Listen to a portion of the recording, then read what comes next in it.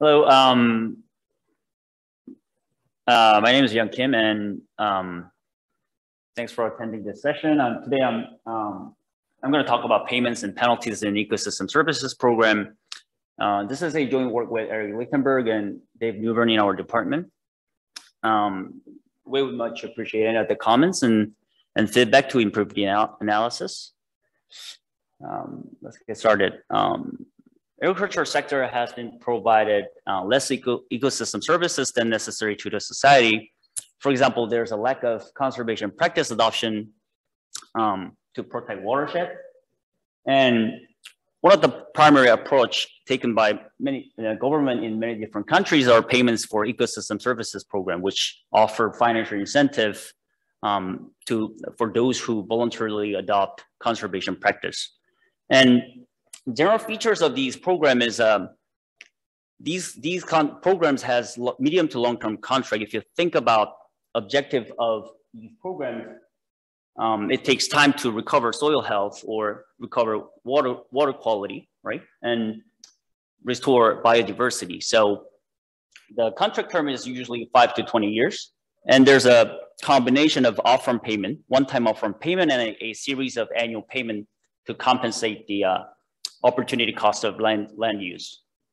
And there's a non-completion penalty aspect um, feature, which is focus our focus of our study. And with because of the contract is pretty long, um, there's a chance that farmer want to terminate the contract before expiration date. So when they, for example, um, in a CRP, um, farmers convert their highly erodible cropland to grass cover, let's say. And during the 10 year period contract, they wanna they might want to terminate the contract and produce crop instead. So they want to get rid of the grass cover and produce crop again. Then in that case, government wanna want them to pay back penalty, early termination penalty. And the standard existing existing standard penalty structure in, in the in the conservation policy is that government requires them to pay, participants to pay back all payments, total payments they have received so far, okay? And, and this penalty is interesting um, policy instrument because it affects, it reduces contract um, early termination, but at the same time, it affects participation incentive as well. Because if you're a farmer that has non-zero chance of contract early termination during the contract period, then having high penalty in the, in the offer contract will disincentivize eligible farmers to initially in enroll in the program. So, so our um, research objective is to examine optimal penalty structure in the PS program. So, so we conduct theoretical analysis to derive optimal penalty structure and compare it with the standard existing penalty structure. And we're going to combine that theoretical result with the existing policy, uh, policy parameters um, to conduct numerical policy simulation. And the focus is we want to examine the magnitude of differences between the optimal penalty structure that we drive and then the standard existing penalty structure. And then the next step is, you know, uh, compare the net policy, uh, net program benefits under each penalty structure and, and see if the difference is significant. And here's a preview of findings. We find that uh, optimal penalty structure and standard existing penalty structure is, is fundamentally different. Um, and, and we find inefficiencies from um, standard existing penalty is pretty large.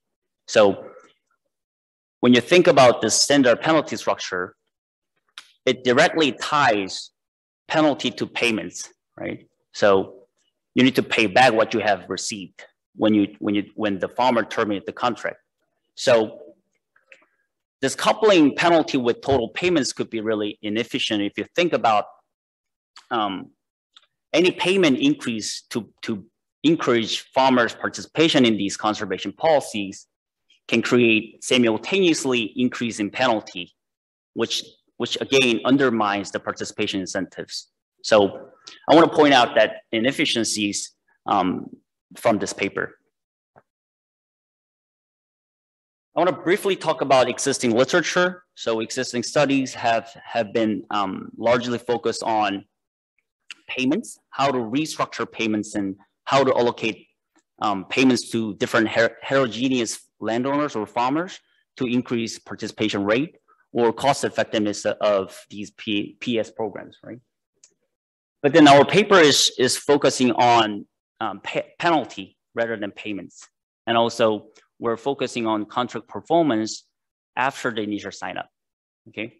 So the initial participation is not the end of the story, right? Because the contract is usually five to 20 years uh, long. And even though many people sign up the contract, if the contract performance is low, then um, the uh, cost effectiveness of these programs are, are pretty low.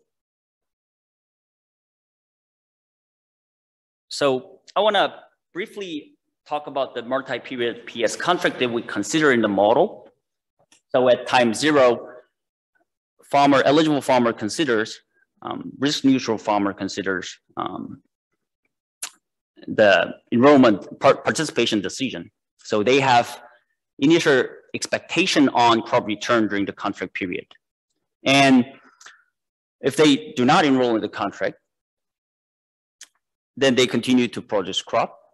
And if they enroll in the contract, only if the expected benefit, expected return from program enrollment is greater than crop production, right? Um, then they, they're required to install the practice, conservation practice, and receive upfront payment and annual first annual payment. And then from, from time one to time capital T minus one, uh, there's a random shock that affects, that alters farmers' initial expectation on crop return during the contract period. Okay, there's a there's a spike in crop price, and there that and that random shock will change farmers' initial expectation on crop return throughout the contract period. Okay, and then and then that the density of the random shock will create probability of contract termination and, and probability that the contract is maintained throughout the country. And then that, that's gonna be repeated at each time. And in case of contract early termination, the penalty, uh, the farmer is required to pay for the penalty. And then, and then that penalty schedule is from P1 to um, P capital T minus one over there. So so this, this, this random shock is the only, random shock epsilon is the only random component in our model. And, and I'm gonna shrink this decision tree into one equation now to, to talk about participation condition. So, so this is the, so don't, don't get intimidated by this equation. So, so left-hand side is just um, expected program return, probability weighted so there's a probability of contract termination and contract completion, right? So, so this equation, what this equation shows is probability weighted summation of program return in case of contract completion and contract non-completion, okay?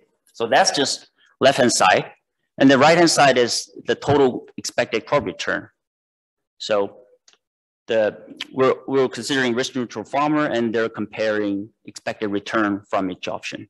So, and then there's a governance optimization problem, which is to maximize um, environmental benefit less program cost plus penalty revenue. This is going to be net program benefits that we're considering. And, and they're choosing upfront payment and penalty schedule from P1 to P capital T minus one and, and this optimization problem. Um, solving this optimization problem will um, give us the first theoretical result. And that is optimal penalty structure is equal, penalty level is equal to future net benefits lost due to contract termination. So, so optimal penalty structure considers uh, considers future benefits, future environmental benefit lost due to contract termination. So in, in that sense, it's forward-looking. But um, standard penalty structure is only a function of total payments received so far uh, at the, until the point of contract termination. And in that sense, is backward-looking.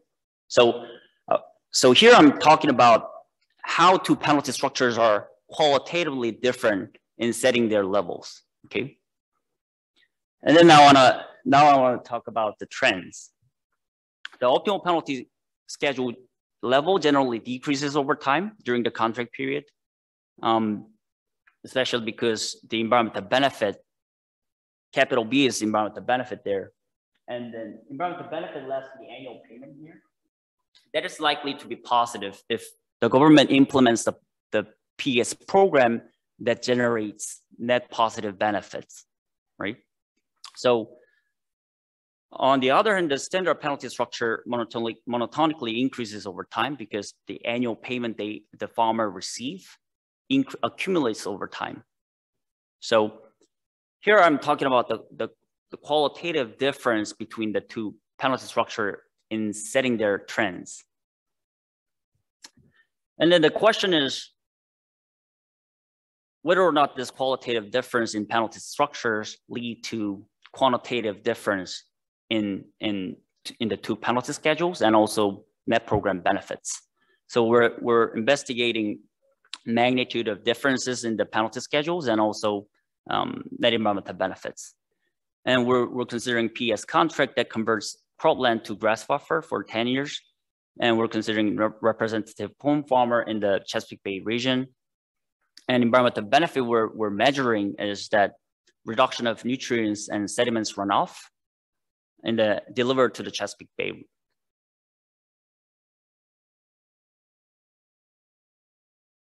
So um, this is the uh, first policy, numerical policy simulation result. And, and the blue line is the standard penalty. So standard uh, non-completion penalty monotonically, monotonically increases over time, more than triples here. So the reason is obvious, you know, the, the annual payments farmers receive increases over time. So um, yeah, it's just when the farmer want to terminate the contract in the first year of the contract, then they they might just have to pay back one year annual payment plus upfront payment, right? But then that's going to increase over time. The lead dot line is dash line is the optimal penalty structure, and that's decreasing over time. And if you think about qualitative um, aspects of optimal penalty, when the farmers terminate the contract in the last period, right, then what government loses is just one period of environmental benefit less annual payment, right? So net environmental benefit loss due to contract termination is small, and, and at the end of the contract, or close to the closing to the contract um, expiration date. So, so we see um, the two penalty structures are uh, total, fundamentally different in levels and trend here. And then I want to talk about, you know, net, net program benefits. So the, the second column upfront payment is the, the amount of payment that ensures farmers' participation in this program. And that is greater under the optimal penalty structure which means that um, farmers are more disincentivized um, under the optimal penalty structure. Be and the reason is, is, is obvious here. You know, the penalty is high upfront. Optimal penalty is large upfront. So, so farmers are um, disincentivized to enroll in the program. So the government has to pay more to them to bring them in into the program. But the total environmental benefit is much greater under the optimal penalty structure because the standard penalty level is very low on, um, in the earlier contract period, right? And that's going to increase contract non-completion in the in the earlier contract period, okay? And and as a result, the annual payment expenditure is lower under the standard penalty, but the penalty revenue is greater. So I mean, combining all that aspects, uh, all the components, net program benefit increased by 19% under the optimal penalty structure. So, so this is the this is the um, main result, and let me wrap up uh, with the two main takeaway message here. So, from the theoretical result, theoretical analysis, we show that optimal penalty structure is is qualitatively different from standard penalty structure, right? And then, and then that leads to quantitative quantitative differences in, in the two penalty schedule, as we saw that cross line in the previous figure. And, and, the, and the, the, the optimal penalty structure is forward looking in the sense that it cares about future benefit loss due to contract termination, but standard penalty structure is backward looking in the sense that it only considers payments paid, already paid to, to farmer. And this and the second takeaway message is direct coupling of penalty to payment is inefficient because any payment increase in, in the in conservation policy to to encourage farm eligible farmers to um, participate in this program will simultaneously increase penalty level because the penalty level is equal to total payments amount. And, and that's gonna undermine the participation incentive, increasing participation incentive due to payment increase, right? So, so we're, the conclusion here is that net the benefits from the PS contract may increase significantly when we just restructuring the current um, standard penalty structure in the in the CRP, CREP, EQIP, and CSP, um, those ma major farm bill programs. I think that's um, all I have. Thanks for the attention. Thank you.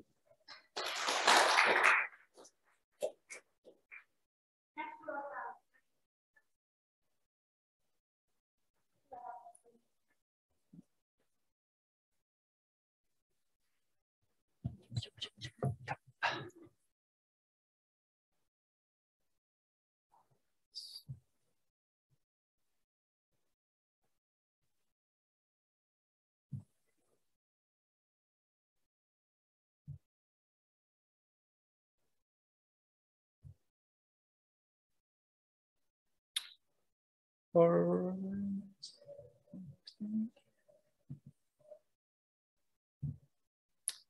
okay. So yeah i'm the discussant Mani Rouhi Rad assistant professor at texas a&m university. And so i really like this paper. I think the the message is very intuitive and very clear when you read the paper and that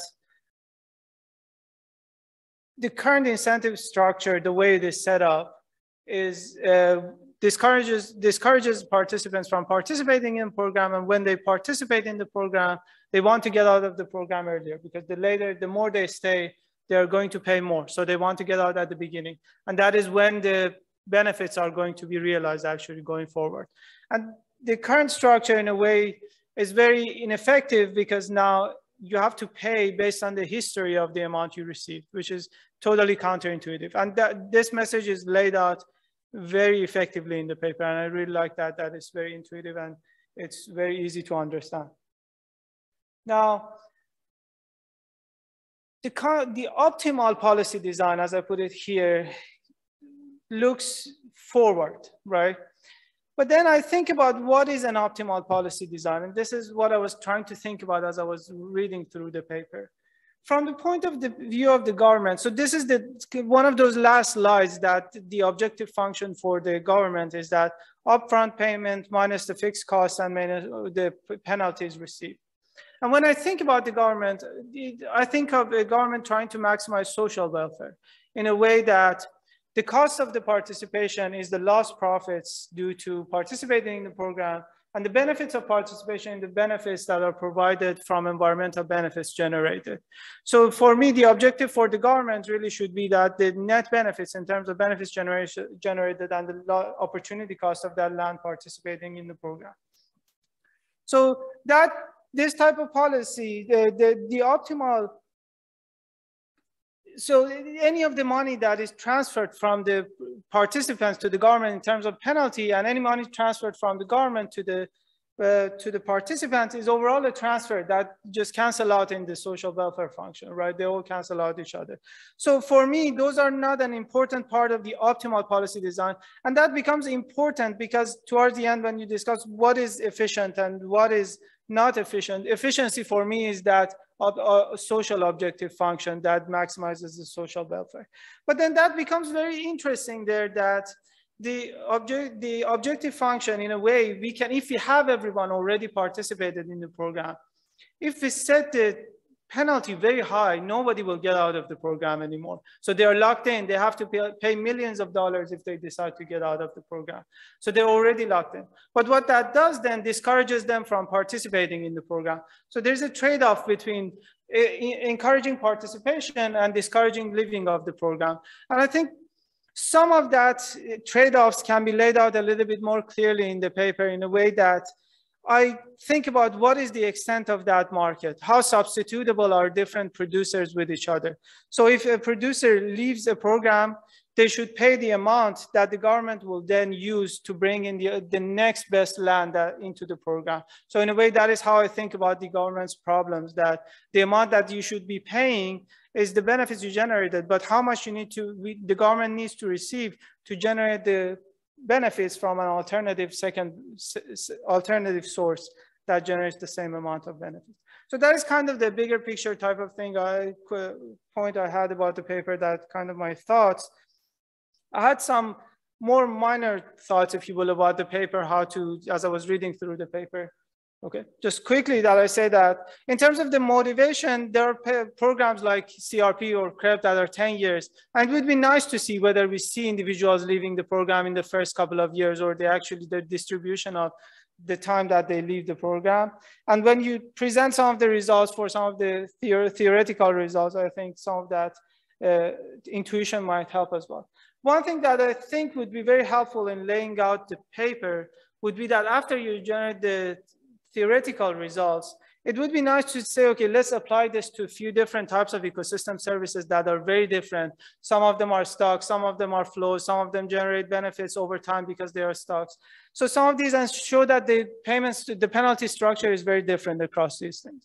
So that's basically, and I, the last point that maybe we can discuss later is that this rental model of ecosystem services that what if I pay you for every year of the benefits you generated? This kind of like carbon sequestration type of, type of literature that they're thinking about is what if we rent carbon ecosystem services from the producers? It's a stock, but we are renting them from the producers. So those are my comments for, am I the next presenter myself or?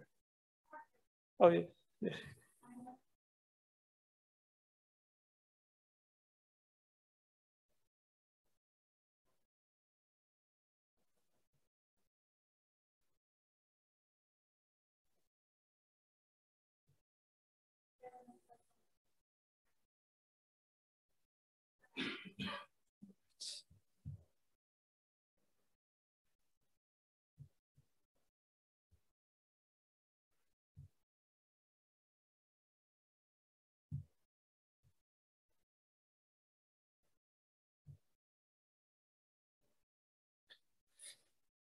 All right.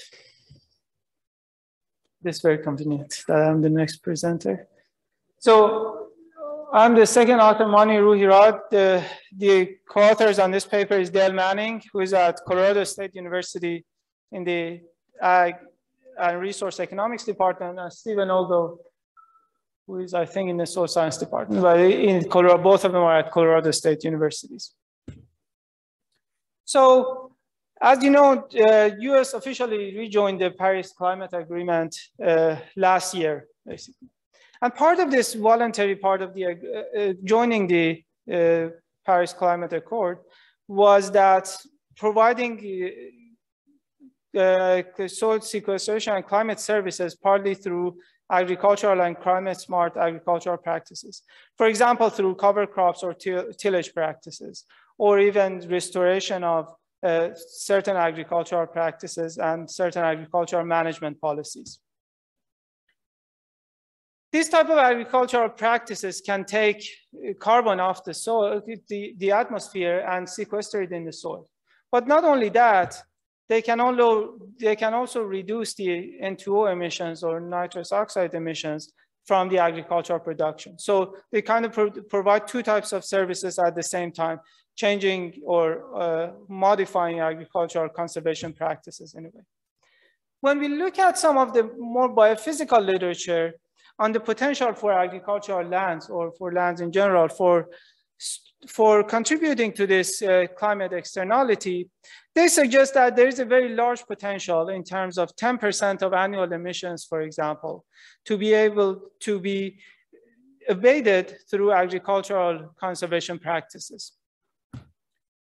But as we know, and as we know, there are too many, uh, there are many public and private efforts that are going on right now for contributing to this debate. For example, uh, companies like Nori or Indigo Ag that they're providing payments, voluntary payments to agricultural producers through uh, carbon offset markets for them to uh, implement certain practices to sequester carbon and to reduce their emissions.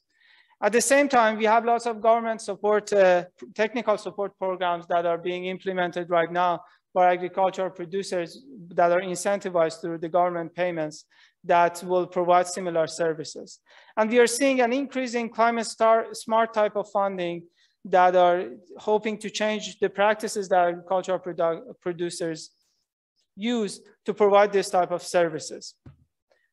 For example, the partnership for climate smart uh, commodities is providing, for example, up to $1 million through USDA to agricultural producers for certain type of practices or even through, the, through Congress, Growing Climate Solutions Act provides technical assistance to agricultural producers for policy, for practices that will sequester carbon and reduce emissions from agricultural production. Well, well, there is, there seems to be a lot of scope, at least from the biophysical side, on the, on the potential for agricultural lands to contribute to this debate when we think about the larger scale, whether these actually these things can take place, when we think about the economics of it, the economic viability of it still remains unclear. Whether the potential, physical potential exists and whether the economic potential exists are two different things. And this is partly very important because of the significant heterogeneity that exists in a lot of agricultural lands. For example, in terms of soil type, weather and climate condition, the existing land use and practice history, and soil carbon levels that exist already in the agricultural lands. So it's really important to consider all these things. And when we consider all this heterogeneity, we may not, uh, we may not have as much potential as we think in agricultural lands. And besides that, literature have shown that these changes in soil uh, carbon sequestration services may not be permanent. For example, agricultural producers who participate may leave these programs or maybe there is leakage in terms of the amount of carbon sequestered. So we have two objectives really in this, uh, in this research. We want to first, an empirical question that we want to look at is, how much can working agricultural lands contribute to the GHG abatement policy question as a function of the price of carbon that will be paid to agricultural producers. And there are different ways to think about it, incentivizing adoption of different uh, practices. But what we are thinking of here, at least in the presentation today, we are thinking about tillage choices. For example, no-till or reduced till as an alternative to full till. But also we have another alternative here is we want to understand how do discrete choice models affect these empirical supply curves for GHG abatement services. So we look at different specifications, for example, with or without different controls, but we are also interested in this conventional or conditional logit compared to the mixed logit type of comparison and what that means for the flexibility or for the elasticity of that supply curve. In future, we are hoping to do different types of uh, discrete choice models and to be able to compare them together and see what their policy implications are for the supply of carbon sequestration services and N2O emissions. So what we are going to do is we are going to estimate the discrete choice model with the existing practices that we have historically for Iowa and then uh, simulate different policy simulations for different prices of carbon to be able to generate the supply curve basically for provision of soil sequestration and N2O emissions for in general for carbon uh, services. And there are two groups of literature. There is a more recent group of literature that studies the discrete, discrete choice modeling of crop and practice choices at the farm level that these studies use discrete choice models that kind of we are using the same multinomial logit or mixed multinomial logit type of models and compare the, the outcomes of these models and the welfare implications of those. For example, one of the more recent papers by Oz et al they look, they compare the effect of salinity on crop choice decisions, and they show that this uh, heterogeneity is very important uh, for understanding preferences over, over salinity on crop choice. Another group of literature studies the GHG emission. This is more of a GHG emission literature that model crop and practice choices, some of them, and the other ones uh, study the uh, study the preferences, you uh, model the general equilibrium type of models and compare different types of policies. So we are going to use an empirical discrete choice model to model producers' historical preferences through their historical decisions, and then use simulations to be able to simulate the supply curve. The data that we are going to use are more than around 13,000 observations using the natural resource inventory or NRI point in Iowa. This data uh, is a panel data set. So we observe their land use choices. We, we also observe some form of their tillage uh, choices as well. We don't exactly know what uh, their location. We know at this point, we only know that they are in Iowa, but in the future, we are going to uh, know which county they are located in as well. So we know some spatial distribution of these points as well. But at this point, we only know that they are in Iowa and all our data right now is from Iowa. We are hoping to expand that to entire Corn Belt in the near future. And this data and this modeling that we are using in this analysis is very important because this data is used for reporting the actual emissions of the US to the IPCC and to the EPA. So this data that we have is uh, used by the US government as well. And the data goes back to 1981. So we have around 30 years of the data that for the producers that grow corn and soy. So we have more producers in there, but we only focus on corn and soy and tillage practices for now. And the variables that we get from this data set include crop choice, practice choice, the yields that are modeled with the DayCent model, which is an ecosystem simulation type of model, but is used for this uh, analysis. And we don't actually observe the yield, actual yields at the parcel level, but this model, uh, the DayCent model that simulates changes in carbon sequestration, changes in N2 emissions, and the changes in crop yields basically uh, is used for analysis and also fertilizer use. And we get the price, crop prices and fertilizer prices from the USDA data sets to be able to generate profitability of different crops.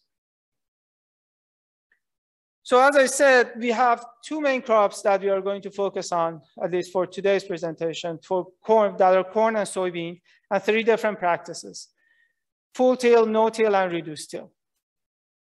As you can see, most of the crops are full till for both corn and soybean there is variation in terms of the simulated revenue and fertilizer cost. So these are, to understand these columns, these are, these are simulated crop yields that then multiplied by the price of the uh, price of the crops, and these are simulated fertilizer amounts that are multiplied by the cost of fertilizer elements, basically.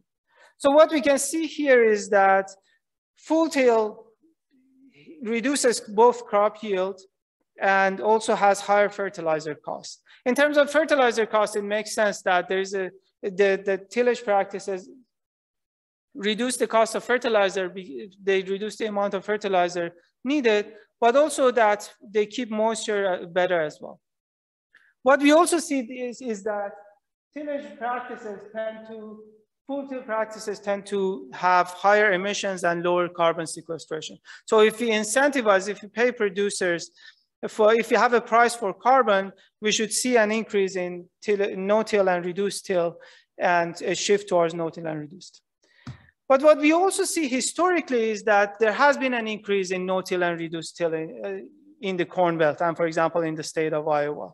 So we see a reduce, reduction in full till acreage and an increase in no-till and reduced till acreage over time. And what that means is that we have, we have had an increase in the soil carbon sequestration over the past uh, couple of decades. And if you see this figure for the first time, that may look, that is interesting that it's not that we are depleting soil carbon resources, but because of both these pra uh, conservation practices and also because of fertilizer use, soil carbon, soil carbon has been increasing overall over time. But what that also means for policy is that if we incentivize the use of uh, conservation practices, even in the baseline, we are seeing an increase. So the policy needs to add carbon sequestration and reduce emission, even on top of the existing trends of increasing uh, carbon services. So it might give us a suggestion that the policy may have a small effect overall. So we are going to have a discrete choice model that's based, that is based on the random utility model. We are going to have alternate, alternative specific constants for each of the crop practices. So for example, corn no-till, corn reduced till, soybean no-till, etc. And what we are interested in is the average re net revenues or profits and the standard deviation of net revenues. We want to know how they affect the preferences over crop choice for producers. We have other controls as well, like lag crop choice. And we also allow year-specific time trends that their coefficients are crop and practice specific. So they allow for heterogeneity across crops, crops and practices. And then we have an uh, unobserved portion of the utility that we make certain assumptions so that we can represent it as a multinomial logit and mixed multinomial logit model. So I'm going to briefly show the results of the multinomial and, or conditional logit and mixed uh, multinomial logit models. Because the results are overall very similar in terms of what they show, I'm going to just briefly mention what these columns are. The first column is a conditional logit model without any control. The uh, next column is conditional logit model with controls, which include year and crop, a large crop effect that vary across different crops and alternatives. And the last two columns are mixed multinomial logit models. In this column, we assume that expected uh, profits or net revenues are normally distributed so that we don't impose a specific distribution on that. It doesn't have to be positive. But in the last column, we impose a positive uh, requirement. And so the distribution is log normal. So our net revenues have to be positive. So we force that uh, in terms of distribution. And what we find overall is that utility of the corn full till is higher than the other. Uh, relative to corn full till, they're all negative, which means that the profitability of corn full till is higher and it's being selected more often. But also that we find that average profits, as they increase, the utility gets higher and then the crop and practice is more likely to be selected.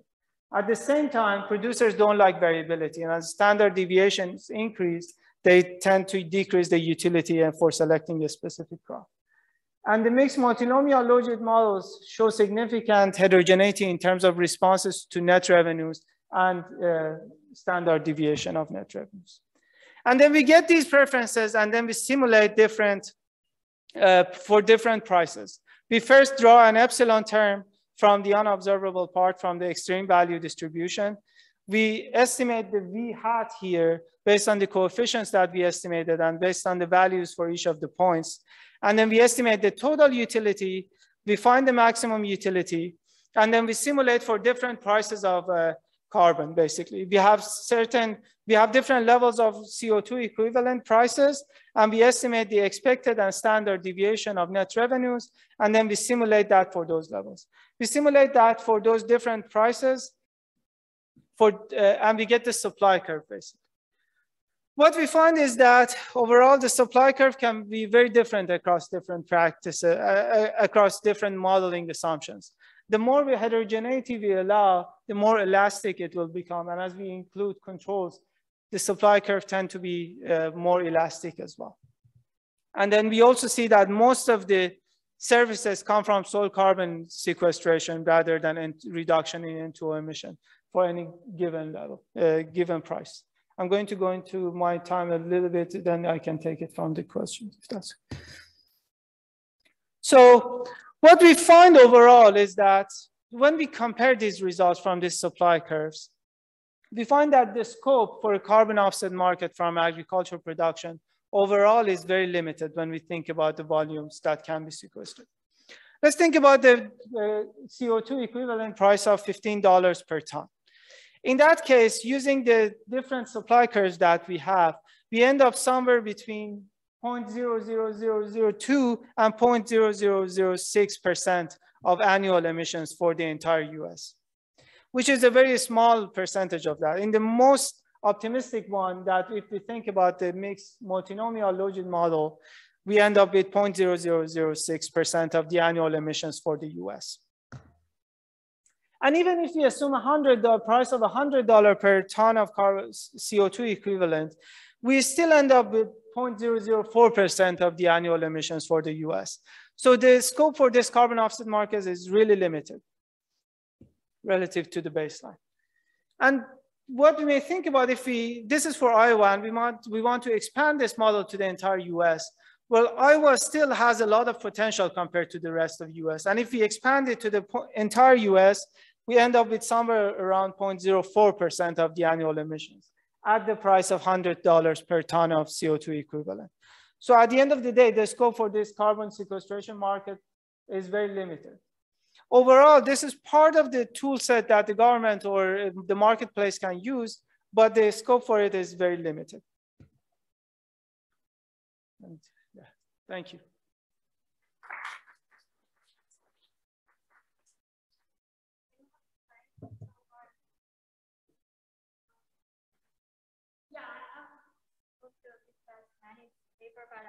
Prepare any slides. Um, Sorry, I, I have one simple thing. Um, due to the time limitation, I mean, did mention his next steps to kind of improve the uh, their papers? One thing I would like to emphasize is that um, they use uh, they use the uh, tillage data uh, the same, uh, use a constant, constant tillage data between the five years. So uh, to improve the accuracy, they mentioned that they may use the satellite, satellite imager data. Um, I do see some variations of the CT adoption between years when I do my study. So that will be very helpful to improve the, the whole research. Um, yeah, I think I will just uh, give the simple comments. Um, any questions for Mani? Go ahead. Uh, um, so I, I, I really like it. I think it's really uh, I just have a question about it. Um, you say it's like locations. Is that like a specific spot? Um, or is like, like, um, there's there's kilometers or kilometers, um, like the area, or it's more so like a just like a spot? Yeah, that's a really good question. So this is really like a point. Okay. I've seen the maps of those NRI points, how they pick it, and they have some statistical way to get to those points. So they zoom in into the land more and more statistically, and then they get to a part of land that is kind of zoomed in. I, I, I forget what they call this specific, but then they point, pick an actual point from that part. And this point can be part of a farm, for example. And then that farm will become part of the NRI history. And yeah, so they then collect the data, I think, for the entire farm, not just only for that point, but the carbon itself, I think, for only that point, probably.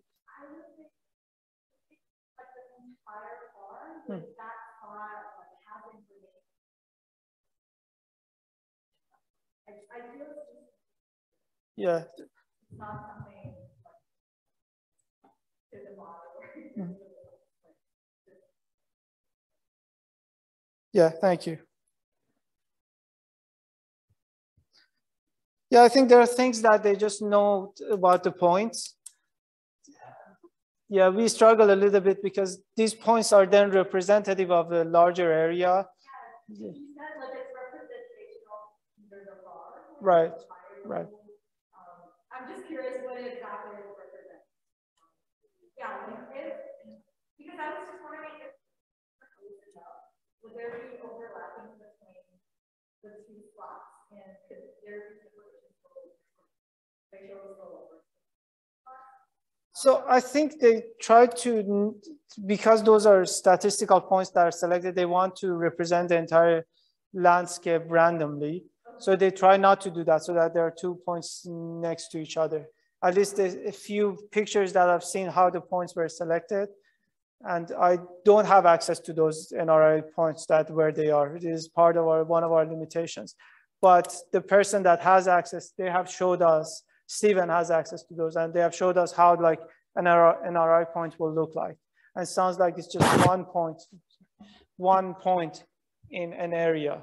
So there are not two points next to each other. That um, so I, I don't know if you, you want something like it's, you know, because uh, the investigative cost layer data, mm -hmm. CDL, they have certain years by certain years. Mm -hmm. You're granted like, like exactly the land that specific pixel mm -hmm. for like basically everywhere in the United States. Um, it's annual level, mm -hmm. um, good. But also, like, I don't think that information as well, the more detailed, like the tillage and mm -hmm. also the other details you have. So like if you are looking to have something more granulated for the specific area mm -hmm. um, or the location, the CDL Okay, thank you. Yeah.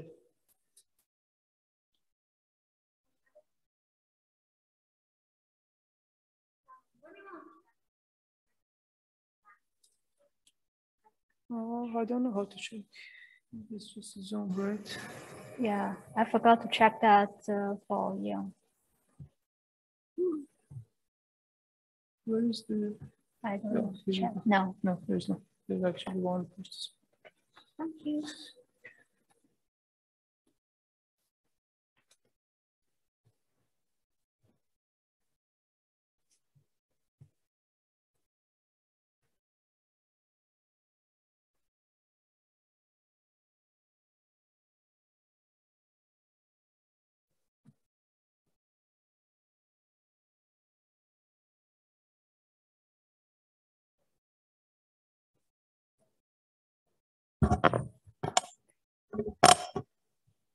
Okay, I will get started. Uh, my name is Menglin Liu. I'm a PhD student at the University of Illinois at Urbana-Champaign. I'm going to talk my paper, The Effect of Conservation Tillage on Corn and Soybean Yields in the US Corn Belt, a post-double selection method. I'll start with some backgrounds for this research. The climate is changing. Extreme events are happening more often. The private initiatives in the government are taking actions to promote the adoption of conservation practices that sequester carbon in soils and vegetation. Um, conservation tillage as one of those practices has been recommended for adoption for years due to its environmental benefits. However, farmer concerns about yield loss might be an impediment to expanding its adoption. Many studies have been done based on field, field experiments uh, for, for assessing the yield effect of CT. The results mixed due to variations in locations, weather, and soil conditions. To get a more generalized result, I'm interested in using the observational data to find the average effect of conservation tillage on corn soybean yields in the US Corn Belt. There are only a few observational studies have been done on this topic. The two most recent ones, uh, Deines et al. 2019 and Chen et al. 2021. Both of the studies use the satellite imagery data for uh, CT adoption. Deines et al. 2019 applied causal forest to uh, field level data without including any social economic variables. While al. 2021 use a linear fixed effect model on the county level data, including a few national and uh, state level socioeconomic variables. They found similar results. CT adoption has no uh, negative effect on corn and soybean yields. However, both studies have some limitations. One of the concerns is uh, omitted variable bias. If the social economical variables that impact both, both yield and state adoption at the same time, um, they may cause some issues. Um, besides the nonlinear, uh, the, the linear specification used in Chen et al. 2021 might not be the correct one since uh, the order CT might be influenced by the quadratic terms or other nonlinear form. To address those issues, uh, I use a county level socioeconomic data set and apply high dimensional methods to a more flexible model that allows the nonlinear, a nonlinear train to interact with county level time varying characteristics. The county level data I used cover uh, 631 counties across 11 states from 2005 to 2018. I used some of the data used in Chen et al. 2021, uh, such as corn sowing yields, CT adoption rates, crop rotation rates, crop insurance rates, the state level price received and GM adoption rates, and fall, fall wetness and spring wetness. In addition to their data, I calculated a county level weighted average of some weather and climate variables. Uh, the county level socioeconomic data I used in the study, such as incomes, expenses, and the value of inventory changes from USDA. I'd like to talk a little bit about my framework. Equations one, two are constructed following partial linear model. Delta y t is the difference of the log of the yield in county I in year t. Delta CTIT, the difference of the CT adoption rate in county I in year t. The first difference structure helped me to control the time invariant characteristics. ZIT prime beta and ZIT prime gamma are approximations to the true functions. Uh, an important assumption here to make the variable selection method, which I will talk about later, uh, valid is the sparsity condition. Sparsity condition means that only a small number of non-zero coefficients in beta and gamma can make the approximation errors small relative to the estimation error. ZIT, the set of technical regressors um, made up of the differences and lacks of weather and socioeconomic variables. The initial levels and the initial differences of weather and the socioeconomic variables and the CT adoption rates. The quadratic terms of the preceding variables, the interactions between the differences, and the interactions between all of the variables with time t and t squared. This set of variables corresponds to a cubic trend for the level of yield and CT adoption that is allowed to um, depend on county level of time varying characteristics. MIT and VIT here is the time fixed effect, uh, which capture the uh, national aggregated time trend. Equation three here is a reduced form corresponds to equation one. After the model is constructed, I apply the post-double selection method to find the causal effective CT on yields. Step one, I apply lasso to equation two to select the important confounding factors. Step two, uh, I apply, I apply, sorry, I, I apply lasso to equation three to select important factors um, in the equation of interest to make sure the residual variance are small. In the final step, I use the union of the selected technical regressors from step one to step two and the fixed effect dummies as controls in the uh, OLS regression of delta YT on delta CTIT. This causal inference relies on the sparsity condition I mentioned earlier. To examine the uh, double selection estimator, the performance of the double selection estimator, I also specified a linear fixed effect model. Um, WIT here is a set of variables derived from the differences and lags of weather and socioeconomic variables. Before I jump into the results, I'd like to show you the variations of the difference of the CT for corn and soybeans that are captured by the data. Um, the overall range, the overall variations for for the difference of CT for corn is from the negative 16%, 60, 60% to positive 60%. Most of the uh, most of the variations between negative 15% to uh, to positive 15%. Some of them may be up to um, negative 30% to 30%. Uh, we can see the similar patterns for the difference of the CT adoption for soybeans. The outliers a uh, little bit larger for soybeans uh, compared to for corn. Uh, from both graphs, we can see that the data capture the spatial and temporal variations of the CT adoption, the difference of the CT adoption. I use two sets of elementary variables in the two specifications I mentioned earlier. Um, I followed TNL 2021 to determine the first set of variable, uh, but I replaced, replaced some of the variables used in their study.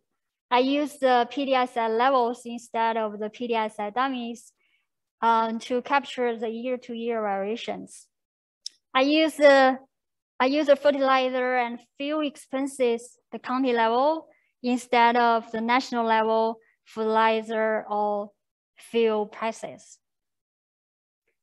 Based on the variables in the uh, first set, I add some monthly weather and climate levels and GDD from April to October, hired labor expenses, production expenses, government, value of inventory changes of materials and supplies, and the lags of income runoff from April to October, value of inventory changes, higher labor expenses and government payment.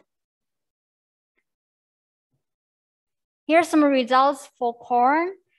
Um, in the first column, the conventional means uh, using the linear fixed effect model. Double selection means using the post-double selection estimator. One, two represents the first set of variables and the second set of variables. The effect and the robustness standard error are reported um, following the median method used uh, using Chernozhukov et al. 2018. Um, the effects of the CT adoption on corn uh, consistent across models and var variables used. There's no uh, significant effect of the CT adoption on corn. Um, the model performance are pretty similar for corn and soybeans, so I'll mainly discuss the model performance in the results of soybeans. For the uh, for the effects of CT on soybeans, um, they, they are also consistent across models and the variables used. I found uh, negative, uh, significant negative effects of CT on soybeans. And both, uh, both, double, um, both double selection estimators work, uh, perform, perform better uh, compared to the conventional estimator when using the uh, when using the same set of variables. Uh, the double selection process for the uh, for the first set of variables selected 264 variables out of 270 variables, which means most of the variables in the model are important to predict delta YT or delta CTIT. This suggests a potential omitted variable bias. Double selection for the second set of variables selected about 1,500 variables out of more than 14,000 variables. most of the variables uh, selected are the interactions between the weather and socioeconomic variables, all the, always or without interacting with time t or time t squared. Uh, this set of variables selected uh, represent uh, suggest a nonlinear trend depends on uh, county level time varying characteristics. Um, double selection estimator two um, perform the best. Uh, uh, if we look at the robustness error confidence interval and the RMSE, um, the coefficient of the of this estimator can be interpreted as a 10% increase in CT adoption leads to about a, a half percent decrease in soybean yields. Uh, I will conclude my presentation with several key findings. CT adoption has no effect on corn and soybean yields. CT adoption has a very small negative effect on soybean yields. 10% increase in CT adoption leads to an average yield loss of 0.28 bushels per acre for soybeans. This can be translated to a loss of about three, uh, 300,000, uh, 350,000 US dollars for each county given soybean yields in 2022. Based on the model performance, the post-double selection method seems effective to minimize omitted variable bias in this context. That's all I have. Uh, this is not a well polished paper. Any question or comments? Uh, um, really appreciate it.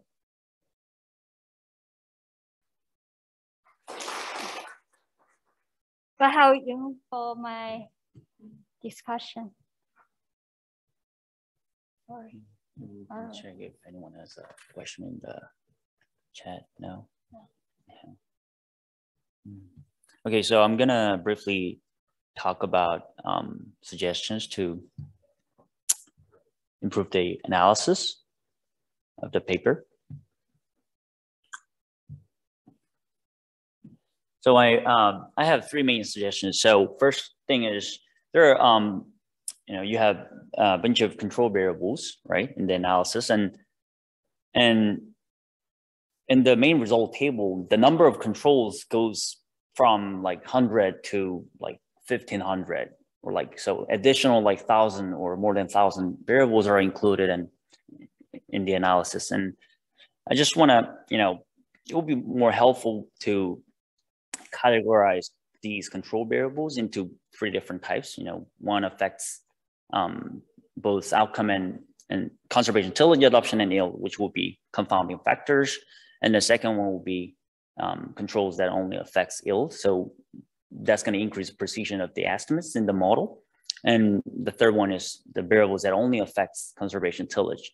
And, and think about um, which type of, which group of variables are, are likely to be selected under post double selection method versus, you know, um, in the conventional fixed effects model will um, inform us to think about where the estimate change is coming from, right?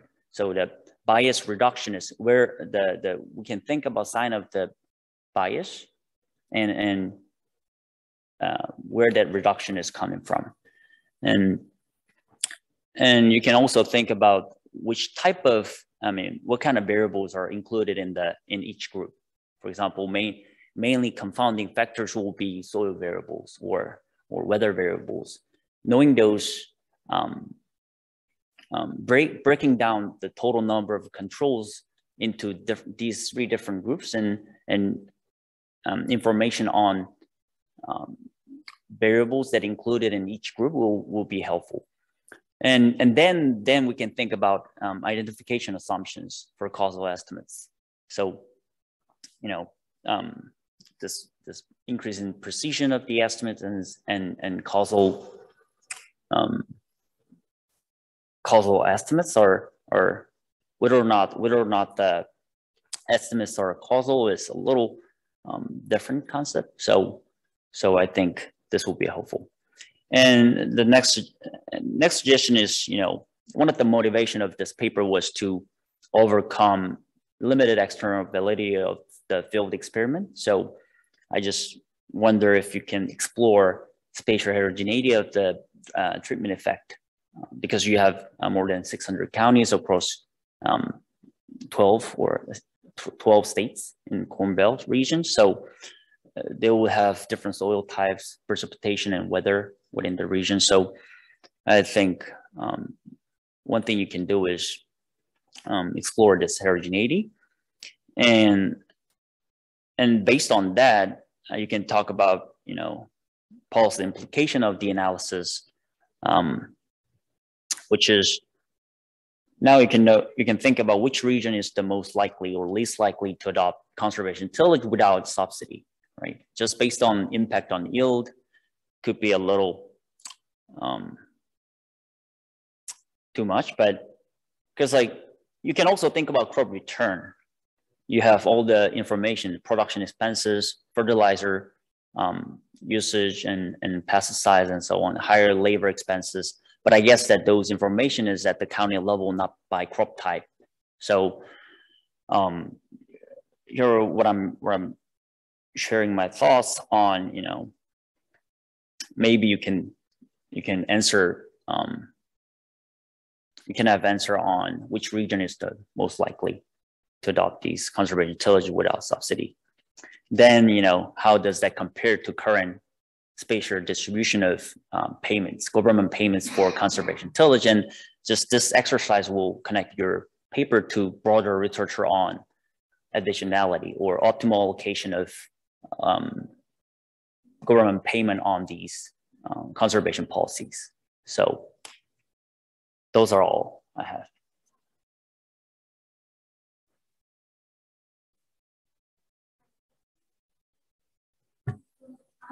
I'm just wondering because um, like all the um, papers that are trying to draw um, I'm just uh, thinking about because you control for time fixed effect, maybe um, it is worth time control for both time and content um, like control for both fixed effects, then it will be like I guess um, a good comparison to see when the controller will be not have learning being absorbed into the content Because I, I, I don't know, um, I, I think it's like totally makes sense, like that you're trying to figure out what exactly, uh, like what are the variables you want to um, include so that it can actually, um, I guess it's trying to work with not dependent variable, but also, I mean, I, I think it's like high standard to have like a location, fixed, uh, fixed effects, um, fixed effect. That would be, it's basically like a fixed, fixed effect model. Um, maybe just try it out and see what are, what could potentially be the differences between your model and also the estimate from, from the fixed uh, effect model. And also, well, I guess, do you have any uh, thoughts about that or have you already actually tried? Yeah, thank you for your comments. Actually, this model includes the county fixed effect.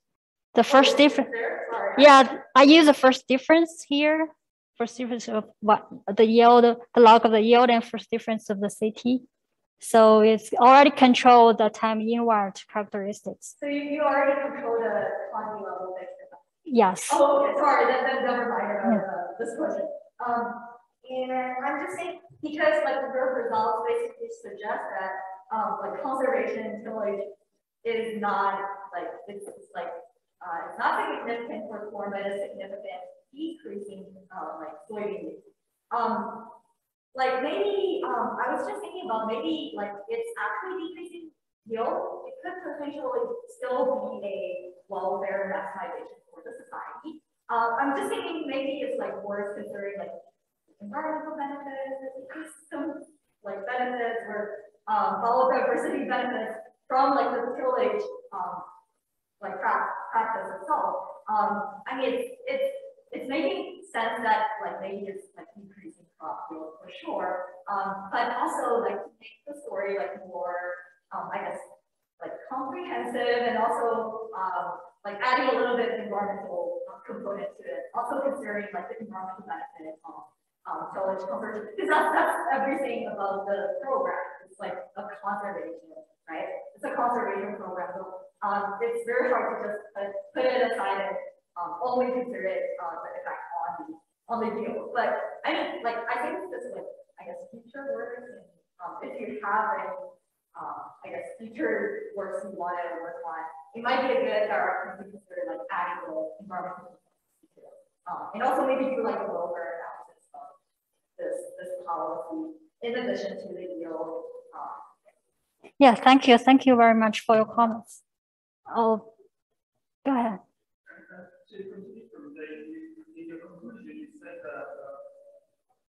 it's tends to increase the contribution adoption because loss of 306,000 US dollars for each country is what Secondly, after this factor in the, the fact that when you use conservation also have some labor and PLC.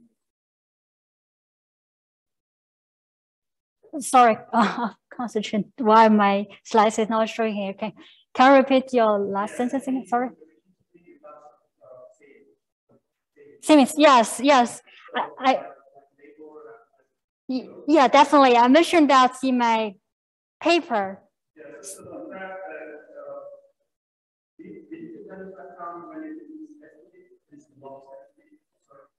I control the high labor expenses and the field expenses.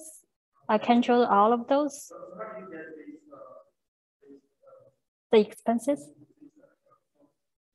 Um, from USBEA, county level US Bureau Economic Analysis, Bureau of Economic Analysis.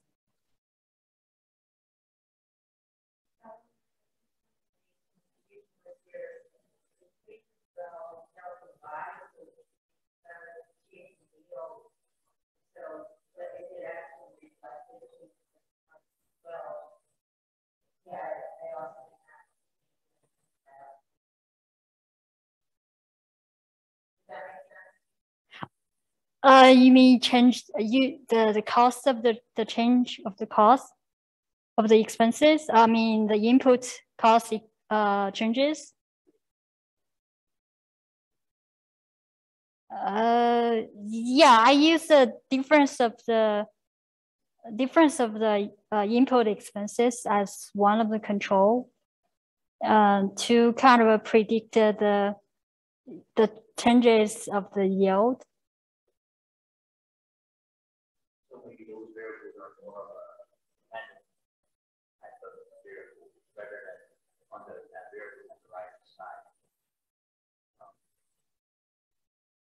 For the incomes, I use the lags, but for the expenses, I think uh, like it's highly related between the cost of the input and the yield. If you use more costs, you may get a higher yield. Yeah, I mean, I mean, um, conservation tillage adoption may affect, I mean, may you show that uh, conservation affects yield. Yeah. same time, it's going to affect operation cost. Right? Yes. So, um, the operation cost itself will be a dependent variable, you can think about the whole farm operation, how farm operation cost will change overall, and, and plus you have the effect on yield. So then you can think about um, farm return. Yes. And, Yes, yes, thank you for your points. I use like, I also use that, like the differences of the cost used or the lack of the cost used to predict the difference of the CT adoption. So uh, pretty much after I got the set of variables that can predict the difference of the CT adoption, I kind of get a, can the CT, the difference of CT adoption taken as exogenous condition on all of those variables. So it's kind of impact through the CT adoption. I'm not sure if that's, that makes sense. It both can impact the CT adoption or yields. I cannot just drop them, then it will cause omitted variable bias. Yeah, and also if they profit as an outcome, then the interesting question be like the cost saving from doing it. It's gonna outweigh the reduction in the yield. Maybe. That may be the case. And also thought about that, the thing is, with that the data set is counter level and doesn't split by crop type. So you only see at the counter level fertilizer usage is this much, but not by crop type. So because this is, you know, kind of, and also year, year of year effect. So um, maybe you gotta uh, think about would it count irrigation crop types? So you gotta assume that share is fixed and, you know, so every other crops are all self And then when under the options. So input change is only So yeah, so yes. Yeah, it's not uh, the perfect data for this contact. Yeah. And then, and, yeah, and likewise. And the group of farmers who planted in 2005 will be different from those who planted in 2005. So those are changing, changing over time with the county. So, so the county will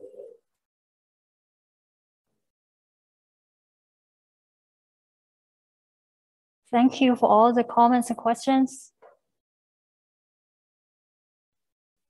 Okay, thank you. Thank you.